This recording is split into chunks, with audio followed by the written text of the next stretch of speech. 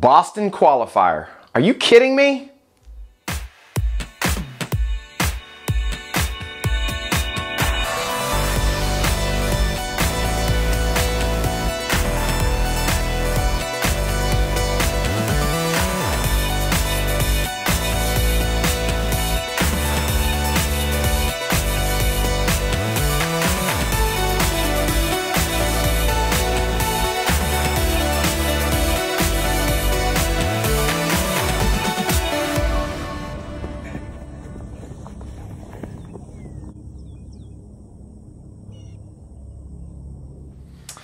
And welcome back to another edition of Running with James. This is the Boston Qualifier edition um, because that's my goal this year. That's been my big goal. Um, I'm really excited because I had some goals uh, specifically for OCR obstacle course racing. Um, I wanted to podium um, in at least three events, and I podiumed in all but one. So I podiumed in five different events, um, and all but two of them were first place finishes. So big improvements really really excited about that and so but the big thing this year i wanted to try to do was i wanted to qualify for boston.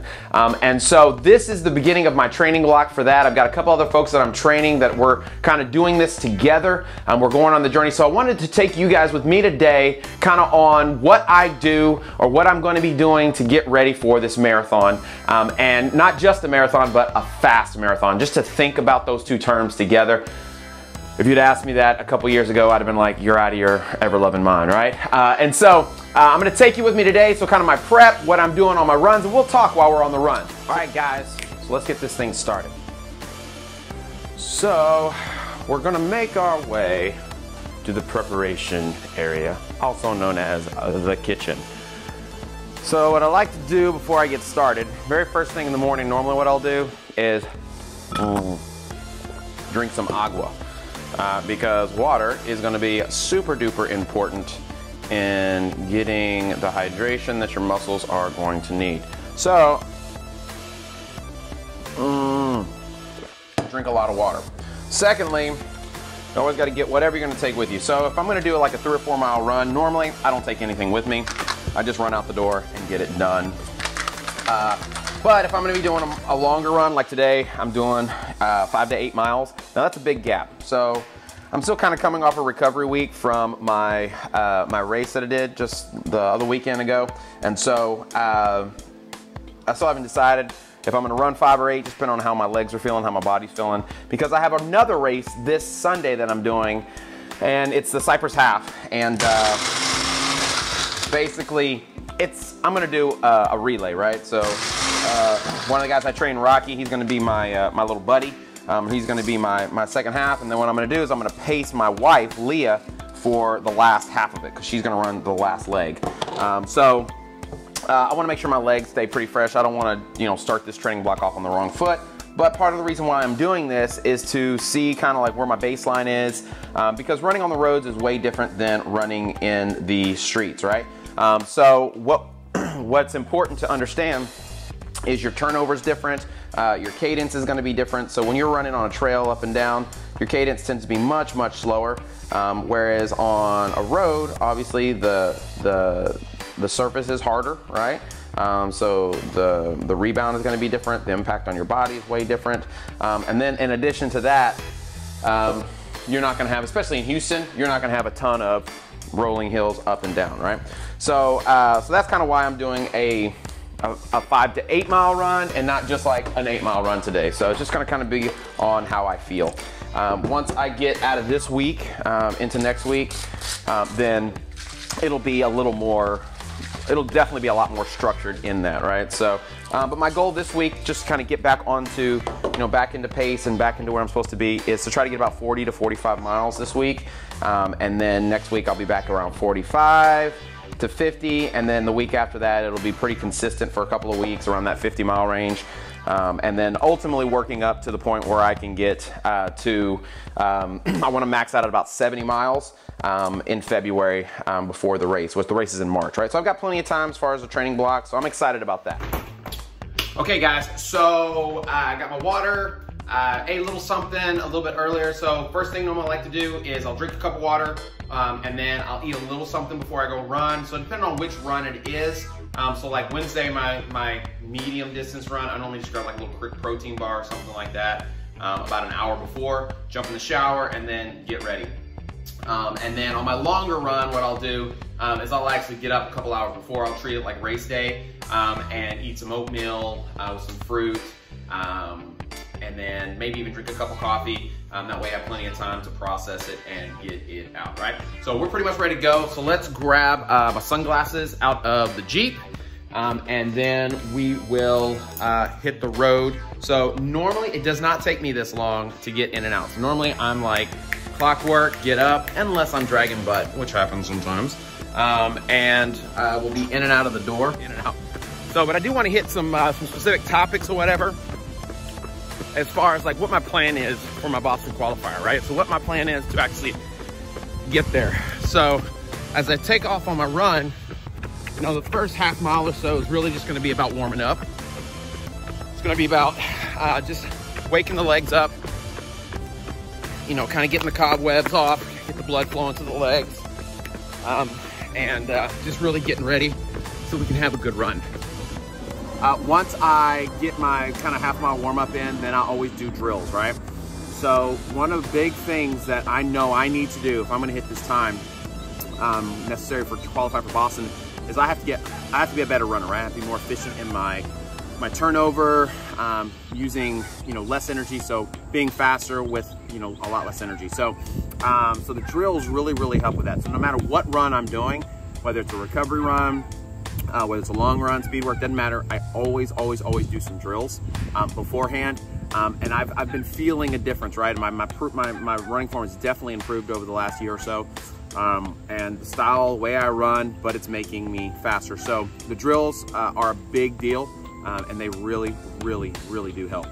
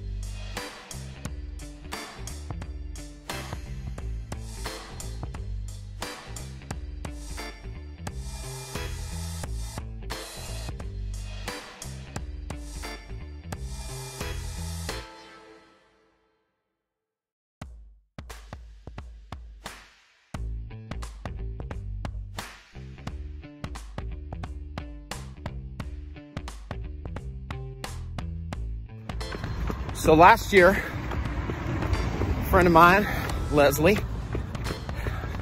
the crazy llama, asked me, hey James, run the marathon with me. And I was like, nah, I'm good.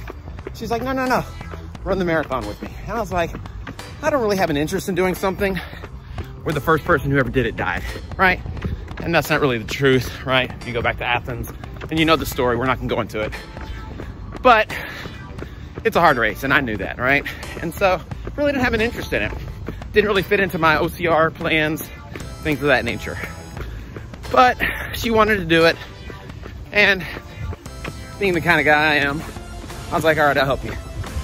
So started training for it, getting ready.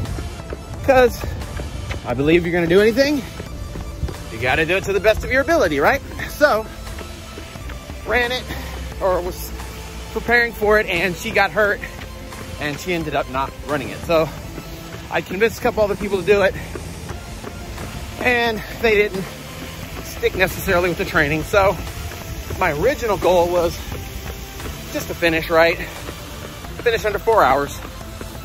And then when Leslie was doing it was to help her, you know, run fairly fast, right?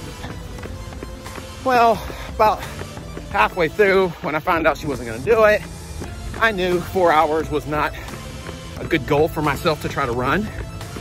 Wasn't very realistic. So based off of my training, my running, I changed it to three and a half hours. So fast forward to race day, take off, feeling great. Weather was pretty deal, it was cold. Race, race weather was good. And I took off, running about a 720 pace or so, and I felt amazing. And so about halfway through, was around, I think at the halfway point, I was 130 something. And I was on pace actually, because I'd looked, because someone had made a mention to it. I was actually on pace for a qualifying time. So I was like, I feel good. I'm gonna just keep going. So fast forward to mile 22, bonk, hit the wall hard because I was running too fast, right? For the fitness and my experience at the time.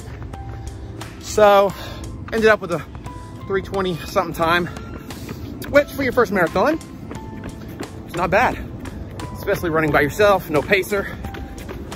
Still working on nutrition because my nutrition plan was okay. But like I said earlier, I probably needed a little bit more. And so I was good, I was happy. Finished the marathon. Did something I thought I'd never do, or really didn't want to do. And it really opened my eyes up though to, you know, not just what I was capable of doing, but other people are capable of doing. If you train properly, train smart. So I've seen so many stories of people who, you know, ran, you know, slow times for years and years and years, started training properly and ran fast. Crazy times.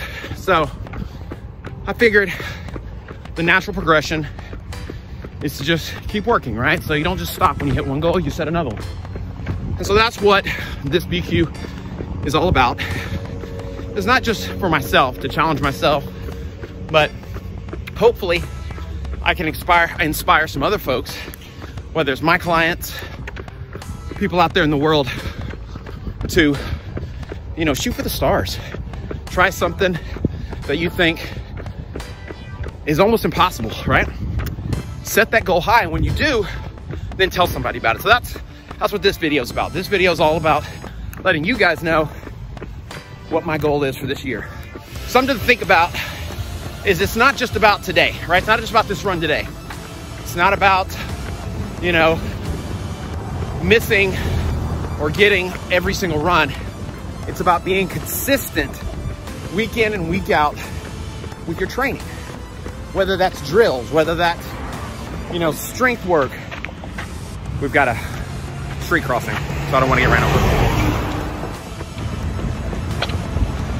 Okay, so as I was saying, consistency is really what it's all about, right? So being able to put in those miles day in and day out, and over a long enough period of time, you build up this foundation. So I like to think of things, training, every training block, whether it's for obstacle course training, ninja warrior, strength training, it doesn't matter what it is. There's a training pyramid, right? And so the bigger your foundation, the bigger your base, then the higher the peak. So if we're talking about running specifically, the larger your aerobic base, the faster you can eventually go. Um, and so if you treat every layer of that pyramid like a four to six week training block, four to 12 week training block, something like that, and you're constantly building upon it, and the closer you get to your event, you get more race specific um, with your training, you cannot help but succeed. You cannot help but get faster. And so, you know, most of my training is done just like this, nice and slow. I can hold a conversation, my heart rate's down, but working in some speed, right? Really building uh, that strength up is going to be super important the closer we get to race day. Um, and so, you know, for the next few weeks, I'm just going to be working on my aerobic fitness, make sure my body's fully recovered from, you know, my last few races. Um, and then starting in December, I'm gonna be doing some very specific strength building with tempo runs, some threshold runs that'll gradually build through the weeks. Um, and then same thing as I build with my, with my mileage. Um, and so January, I'm gonna run a half marathon, the Aramco half marathon, um, as my test, right? To kind of see is my fitness where it needs to be. Um, and my time needs to be around 130, you know, 129, 130. And the goal is really 129. Uh, to see if I'm going to be on pace to be able to hit that, uh, you know, that 305 time, right? So, you know, you can't just take your half marathon time and double it. You have to take your half marathon time and add some time because it's double the distance, right? Um, and so that's that's my goal, right? And then I'll have another about six weeks or so of training to really kind of dial in my, you know, any changes I need to make for that uh, that Boston qualifier in the Woodlands when I run the Woodlands race. So you know, it's, it's aggressive, right? And it's what I want to do. Um, and so I want you guys to take this journey with me. Um, and, you know, I hope we, we're successful together. So make big goals, right? Have big big dreams or whatever it may be, you know, but no, you don't have to do it by yourself. You know, you can get people to help you. That's what having a great community is all about, being a part of a great community, whether it's a church community, you know, whether it's a gym community, you know, whether it's a running community, whatever it is, you got to get connected with other people because we're definitely not meant to do this thing alone.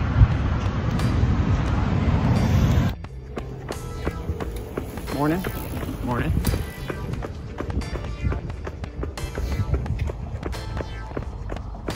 Always be polite when you pass people on the road, on the trail.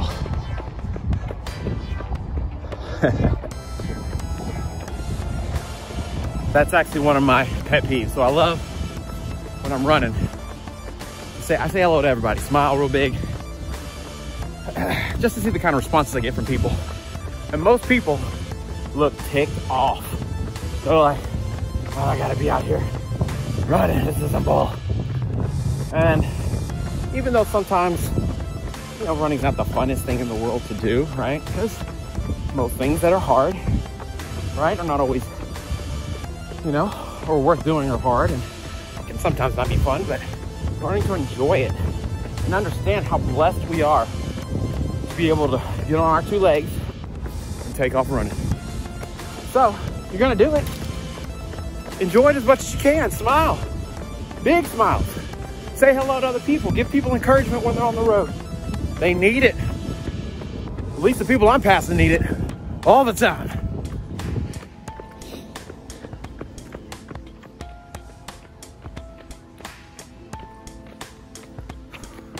All right, guys, so uh, that's pretty much it far the run goes. Um, I'm gonna do a few strides just to kind of end this up. So strides are basically, you know, 90, 95% of your top end speed. So it's not a sprint, but almost. Um, I like to do you know, three or so, four or so on, you know, easy days, long runs. Uh, on like uh, recovery days, I'll do, you know, maybe six to eight. And so strides just really help to work on your turnover, your leg speed, um, and they really help to increase blood circulation. So you may feel like uh, after a long run or something like that, but you'd be surprised just doing that little bit of uh, strides or striding at the end of your run will pay you know huge dividends in how you feel later on, but also in your running form. So I'm gonna knock out a couple of these and then we'll pretty much be done.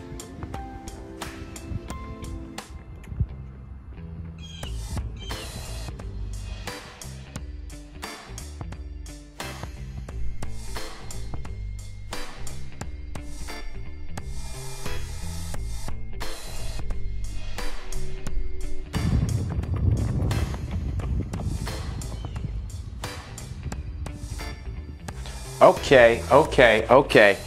Well, good job, guys. So about seven miles, uh, just over seven miles, about 920 a mile, 141 beats per minute on that heart rate. So well in zone three, uh, keeping that aerobic fitness up. So I had to slow down quite a bit today to keep that heart rate where it needed to be. Um, partly because I was carrying the camera, but also um, because it's a little warm outside. It's a beautiful day, gorgeous day, um, but it's a little warmer than it's been. Um, and so obviously heat plays a factor um, in your performance. So you gotta slow down sometimes, right? So, uh, and then once I'm done with my strides, you know, I popped in the shower, obviously, uh, so I can look fresh and clean. Uh, but then I like to get something in my body, some kind of nutrition. Yeah, like that, like that, right? So this is like a core protein uh, energy drink, or not energy drink, but a protein drink, right? So it's got uh, protein in it, it's got carbohydrates, a little bit of fat, not too much, and some sugar. So it's just replenishing the body, right? Um, and so that's gonna be the key is, you know, for success, no matter what you're doing, is not only good training, right? Not only a good plan, not only aggressive goals, um, but then doing the little things like sleep and stretching and warming up and uh, doing the strides, getting the right uh, things in your body because this is like the fuel, right? This is gonna make you healthy, so this can help me recover faster so I can, you know, get back at it tomorrow morning. So um, I think it's gonna be super important, you know, going through this that I have you guys to help support me. So uh, a Boston qualifier is no joke. Um, so I'm gonna have to average around seven, 705 minute mile paces, and that's fast. That's pretty fast. So, um, it's fast for me, right? So fast is relative for for everyone, right? So uh, for me, that's fast. So you know, uh, I got a lot of work to do, uh, but I believe I can do it. I really believe I can do it. Um, and so you guys pushing me, you guys holding me accountable is gonna help. Um, and you know, some of the other people like uh, Rocky, Adrian Gonzalez, he's going for a Boston qualifier. Um, one of my clients, Michelle Rigo, uh, she hasn't committed fully yet, but I'm pretty sure she's gonna go for it. Um, and then there are a couple of other folks as well um, that I'm really trying to convince to uh, that they could do it. Chrissy Kaufman, she's one of the one of the coaches and our uh, in our run group at the Cray Run Group, and you know she had an original goal, but I think I've convinced her that she could qualify for Boston. She's fast and she is definitely capable of doing it. So I hope we can take this journey together. Lou Fergoso is another one that's going for it. So I hope we can do this together, guys. So if you liked the video, if you enjoyed the content, give us a thumbs up, share us with your friends and your family because you always share James with the people that you love, right? And remember, as we go through this journey, right, every day, let's learn something new. Let's change the way we think about things, right? Because if we change our minds, what?